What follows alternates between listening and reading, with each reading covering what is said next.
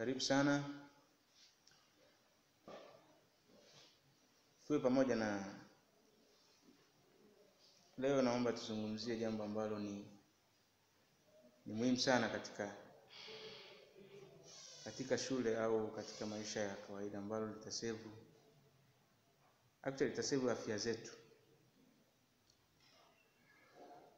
na jambo ambalo ni, ni muhimu sana katika afya zetu ni kwa jambo lolote ambalo unaenda kulifanya lazima uwe na, na tahadhari na lazima uwe na, na precautions ambazo zitakusaidia kujilinda na kujihifadhi ili maisha mengine ya baadaye yaweze kuendelea. Leo tutazungumzia katika maabara. Maabara kuna wanafunzi, kuna kuna walimu, kuna wataalamu wa maabara. Akiwa maabara au kabla hajaenda maabara, lazima kuna vitu lazima avi, aviandae. Ni muhimu sana. Karibu sana, na hii ni channel ya YouTube. Kama kwanza unatembelea channel hii, nakuomba subscribe. Slogan yetu ni kwamba you learn more teach more, learn more teach more.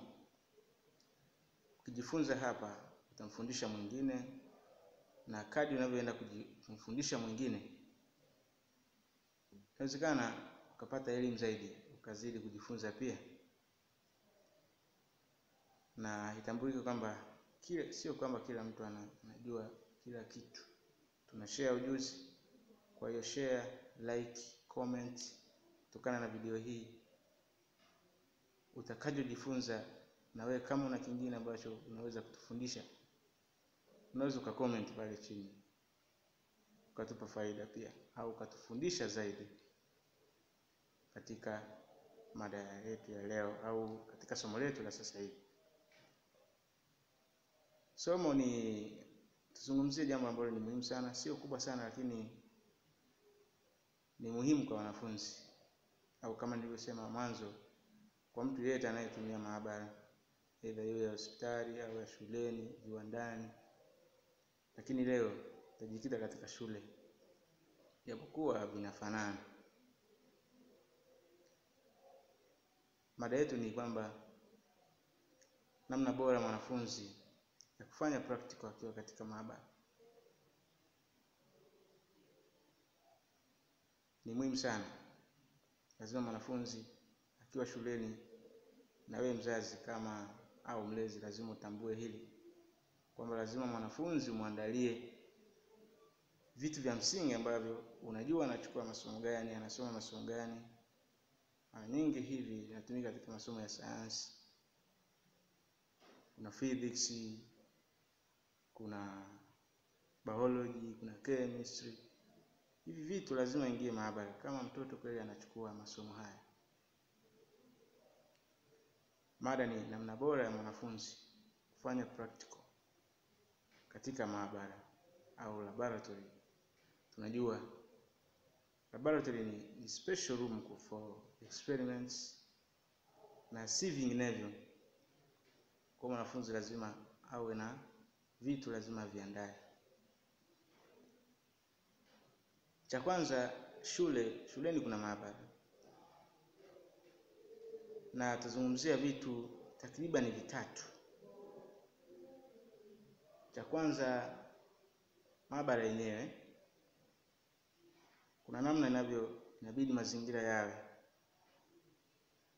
Cha kwanza kabisa, maabara lazima iwe safi na iwe na mwanga wa kutosha kumwezesha mwanafunzi au yule anayetumia maabara ile kufanya experiment, kufanya observation, kufanya test yoyote,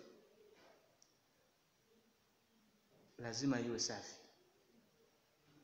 Hilo ni jambo la muhimu sana, na lazima iwe na madirisha ya kutosha ambayo yatamwezesha mwanafunzi ku, kuobserve kufanya observation yake vizuri. Na hiyo na milango ya ambayo itakuwa imefunguliwa. Ukiwa ndani ya maabara lazima ufungue milango, sababu kuna ishu yoyote inaweza ikatokea. Ukawa una akili ya haraka kufungua milango, lazima milango iwe wazi, lakini pia uwezeshe kuwa na mwanga pia mzuri wa kutosha. Hilo ni jambo la kwanza kabisa la kuzingatia, maabara iwe safi. Usafi ni muhimu pia, lakini jambo la pili, lazima kabla ya yote huwe unajua laboratory rules and the regulations. Lazima uzingatie haya, itakusaidia katika afya yako kuendeleza na mambo mengine ambayo yako nje ya maabara. Ukikiuka itakuwa nje ya sheria kabisa, na itakuwa sio utaratibu, na unawezekana ukapata, kama ni mwanafunzi ukikiuka, tunaweza ukatolewa nje, usifanye experiment kwa namna ambavyo utakuwa umefanya, au ni sheria gani na haitakusaidia, ita ita itavuruga akili yako. Mfano uchukulie ukitolewa nje, wengine wana wanafanya experiment, kweli haitapendeza, lakini kuna namna utapunguza point katika somo hilo au experiment yenyewe. Hilo ni jambo la msingi sana, huwa unafuata sheria za maabara, ni muhimu sana. Jambo la tatu, nimesema jambo la kwanza maabara iwe safi na iwe na mwanga wa kutosha. Jambo la pili nimesema fuate maelekezo ya maabara, laboratory rules and regulations. Jambo la tatu, naomba tuwe makini hapa, kuna vitu vijatajwa ndani yake. Jambo la tatu ni protective material. You are supposed to protect yourself as a student laboratory technician, a teacher within a lab. Lazima ujihifadhi na lazima ujikinge na na vitu ambavyo tunaenda kuviona pale mbele, lakini lengo ni tuzidi ku, ku, kulinda afya zetu. Maabara kuna mambo mengi yanafanyika, kuna kemikali, kuna glasses zinaweza kuvunjika kwa hiyo inaweza ukapata madhara, ukashindwa kufanya shughuli nyingine ambayo ni ya kimasomo au nyingine tu ya kibinafsi. Katika hatua hiyo ya tatu, jambo la tatu, ndani yake kuna jambo la kwanza protective material. Jambo la kwanza lazima uwe na lab coat, laboratory coat, kama unavyoniona hapa nimevaa labda koti ambayo ni nyeupe. Ni muhimu sana hii, itanihifadhi na ukiona ndani nimevaa nguo nyingine. Kwa mfano ukiwa katika experiment utakutana na kemikali, chemical solutions. Inawezekana ukawa umemwagikiwa, ukamwagika ghafla solution au ika au ukashika chupa ikapurukushu ikamwagika. Inawezekana hii lab ikakukinga sana na hayo matatizo ambayo yatasababisha chemical kufika katika ngozi au katika nguo. Kwa hiyo, kwa mfano ukijimwagia hapo, unaweza ukavua haraka sana na ikakusaidia pia. Hiyo ni jambo la kwanza katika protective material. Jambo la pili, lazima uwe na na gloves. Gloves ni kama hizi hapa ambazo tunavaa katika mikono. Ni muhimu sana katika kufanya experiment, itakuzuia na mambo mengi, italinda ngozi yako isiwe na contact chemicals.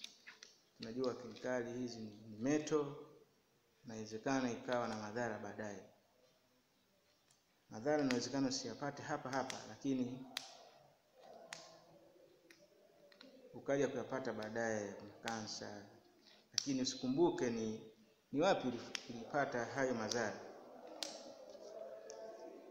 Kwa hiyo ukivaa namna hii itakukinga pia na, na mambo kama hayo ndio niyasema, chemical solutions, kumwagikiwa itakuwa si rahisi kwako. Kwa hiyo ukijihifadhi hivi, ukashika kama ni chemical solution kama hii,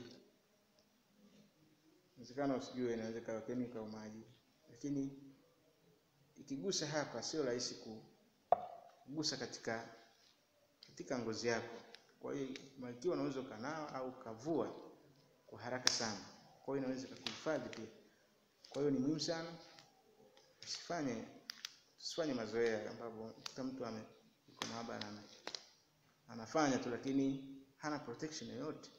Ni kama yuko darasani, darasa la kawaida, anasoma masomo mengine. Tafadhali, afya ni muhimu kwa maisha ya baadaye. Leo uko shuleni, utamaliza, maisha mengine yanaendelea. Jambo la tatu, lazima uwe na katika protective material, lazima uwe na protective protective eye protective equipment ambayo inaitwa goggles. Unajiprotect namna hii hapa hapa, hata kama ukiwa unaunguza kemikali katika test tube, hata ikiruka haiwezi kugonga katika jicho, inaweza ikagonga hapa kwenye glass, inaweza ikakukinga na ikakukinga vizuri katika katika macho yako. Kwa hiyo ni muhimu sana kuinunua na ukiwa nayo katika maabara. Wakati unafanya experiment. Najua unatumia muda mwingi, takriban experiment inaweza kuchukua saa moja kama wewe ni mwanafunzi au saa moja na nusu au dakika themanini. Kwa hiyo lazima ukiwa ndani mle, kuna uwezekano kukutana na, na vitu vingi ambavyo vinaweza ku, kuathiri afya yako. Kwa lazima goggles ni, ni muhimu sana katika afya zetu kujilinda. Lakini jambo la baada ya lab coat, baada ya gloves, baada ya goggles, kuna jambo la la nne ambayo ni maski. Maski ni kwa Kiingereza lakini tunaita barakoa. Hii ni protection ya protection for for smell or fumes. Unaweza ukavaa namna hii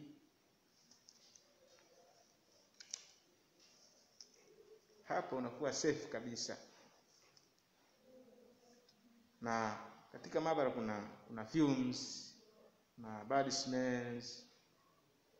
Hii inakuzuia kuvuta kutovuta harufu ambayo haistahili au fumes zikiwa zinatoka zina vapor, usikana ukawa katika sefu ya afya yako. Ukiingia katika ukivuta, niingia katika mapafu, unapata madhara. Kwa hiyo ni muhimu sana katika ukiwa unafanya experiment uwe na protective equipment.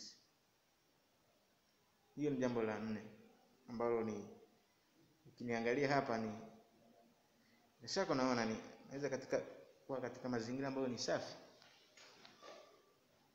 ikiwa hivi nijihifadhi na macho, nijihifadhi na pua na mdomo, mikono, lab coat, nakuwa niko salama kabisa, sina hofu. Kinachofuatia ni kufanya kile ambacho ninaelekezwa na watu husika, aidha mwalimu au mtaalamu. Na jambo la nne na tano katika protective material, sio tulihifadhi tu mikono, lakini kuna sehemu za chini lazima uwe na covered shoes. Hii itakusaidia pia kuepukana na kukanyaga vitu ambavyo vinaweza kuchoma. Kuna glasses, inawezekana uka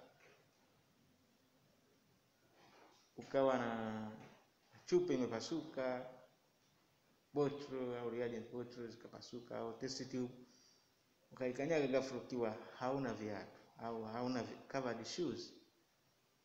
Kwa hiyo ni muhimu sana kuwa na na, na vitu vile covered shoes ambazo kinga katika miguu yako. Kwa hiyo tumesema jambo la kwanza ni maabara iwe safi na iwe na mwanga wa kutosha. Jambo la pili ufuate laboratory rules. Jambo la tatu ni kuwa na equipment for protective protection. Protect material tumesema ni lab coat, gloves na goggles, mask au barakoa na uwe na covered shoes. Ni vitu vya muhimu sana, vitakusaidia sana katika kulinda afya zetu. Usidharau. Nikuombe pia na nikukumbushe mada yetu ni kwamba namna gani yawewe mwanafunzi au mtu yoyote ambaye atahusika katika maabara, namna gani ambayo utaweza kufanya practical yako ukiwa katika mazingira itakayokufeva katika afya yako. Mimi ni Mr. Maburu, karibu sana, lakini usisahau kusubscribe na kulike, kushare. Ukishare tutafikia wengine, watapata elimu kama hii uliyoipata leo. Kwa hiyo nashukuru sana. Kama video hii ni ndefu, nadhani umepata elimu, tutasamiana, lakini elimu umeipata, na unaweza ukaniandikia comment pale chini kutokana na hiki ambacho umejifunza. Shukran sana na tuko pamoja. Asanteni.